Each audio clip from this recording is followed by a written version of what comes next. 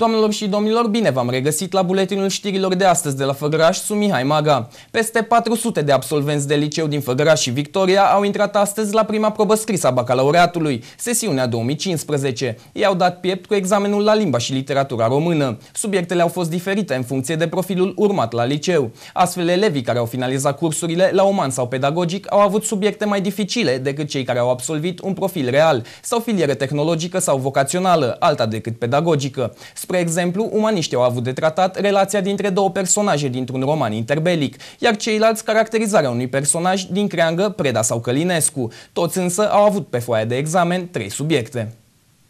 Peste 400 de absolvenți ai liceelor din Făgăraș și Victoria au mare emoții în aceste zile. Astăzi au început probele scrise la BAC. Examenul a debutat cu limba și literatura română. Cei de la Uman au avut de rezolvat romanul realist balzacian. Spre deosebire de ceilalți ani, subiectele au fost mai ușoare, după cum spune Levi. Foarte ușor, neașteptat de ușor. Ce v-a picat? Uh, basmul. Eu am scris despre basmul Ion Creangă, era despre George Călinescu, Ion Creangă sau Marin Preda. Și am ales basmul, a fost ușor, după părerea mea. Sincer, mă aștept la un 8. A fost ușor, sperăm că o să fie bine la matematică, după care totul va fi bine, să sperăm.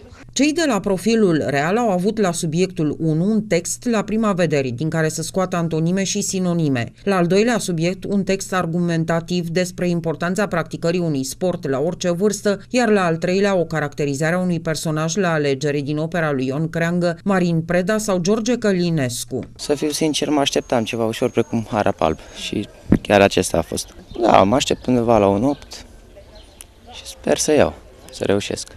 Păi, la început, vă dați seama, fiecare era emoționat, însă pe parcursul testului fiecare și-a dat drumul și a început să scrie. Probabil matematică o să fie un pic mai grea, dar sper să trec peste. În comparație, dacă știi să înveți și ai un ambiție, poți să te descurci. Dacă nu... Nu a fost un subiect foarte greu.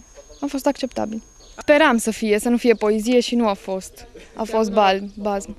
Da, vreau să merg la facultate la farmacie. La Făgăraș, examenul de bacalaureat se susține în două centre de examinare, la doamna Stanga și la dr. Ioan Șenchea. Probele scrise continuă marți 30 iunie cu limba și literatura maternă, maghiară, germană, slovacă, ucraineană, sârbă sau croată, miercuri 1 iulie cu proba obligatorie a profilului, respectiv matematică pentru absolvenții profilului real și istorie pentru cei de la profilul umanist, iar vineri 3 iulie cu proba la alegerea profilului și a specializării, biologie, geografie, fizică, chimie, logică, informatică, sociologie, psihologie, economie sau filozofie. Rezultatele vor fi afișate în 6 iulie până la ora 12, iar contestațiile vor fi depuse în aceeași zi între orele 12 și 16, urmând ca în perioada 7-9 iulie să fie soluționate. Rezultatele finale vor fi afișate în 10 iulie.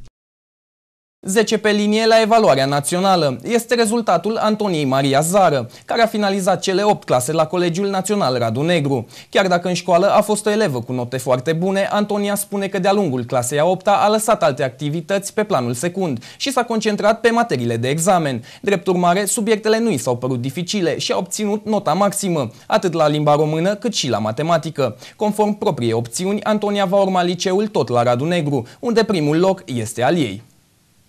Absolvenții de 8 au scăpat de examene, iar acum, în funcție de medie, așteaptă repartizarea la liceu. La Făgăraș, o elevă de la Școala Generală 1, Antonia Maria Zara, a obținut 10 pe linie la probele din cadrul evaluării. Tot la această școală, alți 19 elevi din cei 95 de candidați au reușit să obțină nota 10 la matematică. Nu m-am așteptat chiar la 10 pe linie și uh, chiar succesul a fost faptul că m-am concentrat doar pe examene și am lăsat alte activități și ieșirile cu, prietene, în, cu prietenii în urmă. Ușoare, foarte ușoare. Chiar nu mă așteptam să fie atât de simple. Mai departe, la liceu vreau să merg la uh, liceul Radu Negru, la profilul de matematică informatică și în viitor încă nu m-am decis. Media cea mai mare obținută de elevii colegiului doamna Stanca a fost 9,40. Media a fost obținută de Iulia Șuteică. Dintre cei 49 de candidați, doar 8 au obținut medii sub nota 5. Cele mai slabe rezultate însă au fost obținute la Făgăraș, la Colegiul Tehnic Aurel Vijoli. Din cei 15 candidați înscriși la evaluarea națională, doar 4 s-au prezentat la examen și doar 2 au obținut note peste 5. Evaluarea națională de curs uh, pe baza unui program pe care l-am avut noi în funcție de aptitudinile elevilor în cadrul unității noastre, diriginți, profesori, a realizat în primul rând o orientare școlară corespunzătoare, elevii având șansa să urmeze școala profesională fără evaluare națională și unii care doreau să continue la liceu puteau să susțină evaluarea națională. De aceea, din totalul elevilor care au terminat la noi, e vorba de circa 20 de elevi, la evaluarea națională s-au înscris patru, iar restul s-au înscris la școala profesională, școală care s-a dezvoltat prin parteneriatele pe care le avem atât cu firmele din uh, municipiul Făgăraș cât și din municipiul Sibiu. Și din cei patru, doi elevi au promovat, au luat examenul de evaluare și doi au picat și s-au înscris deja la profesională. Considerăm că activitatea aceasta de orientare este bună, va trebui să fie și mai bună în continuare.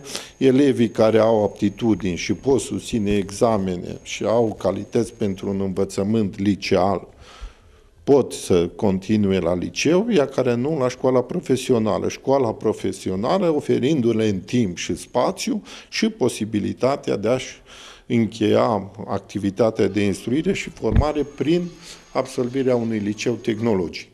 Anul trecut, la evaluare au fost 6 note de 10 la limba română și 124 la matematică la nivel județean, dar un singur elev a reușit să obțină media 10. De remarcat că elevul cu numărul 1000 în ordinea mediei a obținut 860, o medie foarte ridicată care confirmă declarația inspectorului șef general adjunct Victor Vijoli, precum că acestea au fost cele mai ușoare subiecte din istorie pentru elevii de clasa 8 -a. Rezultatele au fost afișate vinerea trecută, zi în care au fost depuse și contestații zile. Acestea au termen de soluționare ziua de astăzi, 29 iunie, după care mâine vor fi afișate rezultatele finale. Inspectoratul școlar va publica și o ierarhie a mediilor de admitere la liceu pentru orientarea copiilor. Aceștia trebuie să completeze fișele de înscriere la liceu începând cu 3 iulie 2015, iar repartizarea computerizată are loc în 14 iulie.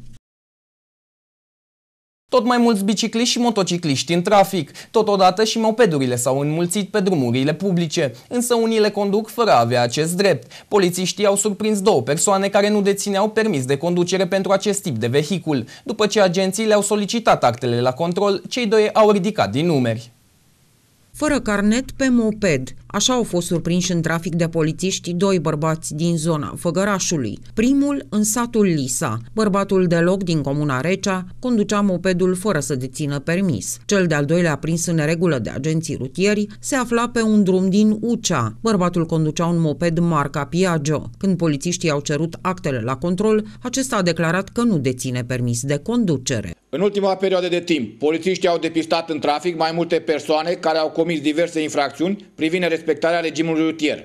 Au fost întocmite dosare penale, efectuându-se cercetări sub aspectul săvârșirilor infracțiunilor de punerea în circulație sau conducerea unui vehicul nematriculat, conducerea unui vehicul fără permis de conducere și conducerea unui vehicul sub influența alcoolului, prevăzute de articolul 334, articolul 335 și articolul 336 din Codul Penal. Zilele acestea, polițiștii de la Șoarș au depistat în trafic un bărbat domiciliat în Ilfov ce conducea un autoturism ce avea montat un număr de înmatriculare fals care provenea de la un autovehicul radiat din circulație. O altă neregulă a fost descoperită la un control de rutină de polițiștii din cadrul biroului de la Viștea. Un bărbat staționa pe mijlocul drumului spre satul Sâmbăta de Sus. Agenții au mers să vadă ce e cu mașina și au constatat că bărbatul Bărbatul de la volan consumase alcool. Supus testului de alcoolemie, etilotestul a înregistrat 0,65 de miligrame per litru de alcool pur în aerul expirat. Creștinii ortodoxi și greco-catolici îi sărbătoresc astăzi pe Sfinții Apostoli Petru și Pavel, chiar în ziua în care amândoi au murit în timpul prigoanei creștine declanșate de Nero. Oamenii din țara Făgărașului au mers la biserică pentru a se închina și a se ruga pentru cei dragi și mai ales pentru sănătate. În popor, sărbătoarea este denumită Sânt Petru. În povestiri și snoave, Sânt Petru este un om obișnuit. Se îmbracă în straie țărănești, se ocupă cu agricultura, creșterea animalelor și mai ales cu pescuitul. Creștinii ortodoxi și greco-catolici îi sărbătoresc astăzi pe Sfinții Apostol Petru și Pavel. Ei au contribuit la răspândirea Evangheliei în multe părți ale lumii și au primit cununa martiriului în aceeași zi, în anul 67. Totodată au avut un rol esențial în viața ecleziastică a primilor creștini. Făgărășenii au mers astăzi la biserică pentru a se închina și a se ruga pentru cei dragi și mai ales pentru sănătate. Apostolul Petru, fratele lui Andrei, era pescar din Betsaida, localitate în apropierea lacului Tiberiadei, de lângă Marea Galilei și mai înainte de a fi numit apostol, acesta se numea Simon. Petru este cel mai bătrân dintre cei 12 ucenici ai lui Hristos. Adeseori acesta devine purtătorul de cuvânt al celorlalți apostoli. Sfântul apostol Petru a fost răstignit cu capul în jos după dorința sa, zicând că nu este vrednic să fie răstignit asemenea lui Hristos. Pavel mai este numit și apostolul neamurilor. Sfinții apostoli Petru și Pavel sunt considerați ocrotitorii sistemului penitenciar din țara noastră. În popor, sărbătoarea se numește Sânt Petru de vară și marchează miezul verii agrare și răstimpul secerișului. În multe povestiri și snoave populare, Sânt Petru apare precum un om obișnuit. Îmbracă straie țărănești, lucrează pământul, crește vite și, desigur, pescuiește. Numele de Petru și Pavel și derivate ale acestora sunt purtate de multe persoane. Tuturor sărbătoriților zilei, televiziunea Nova le urează la mulți ani. Aici punem punct buletinului știrilor de astăzi cu principalele informații locale. Pentru a ne urmări pe internet aveți la dispoziție adresa impactfăgăraș.ro și pagina de Facebook Impact Făgăraș. Doamnelor și domnilor, vă mulțumesc pentru atenție. Rămâneți pe Nova TV.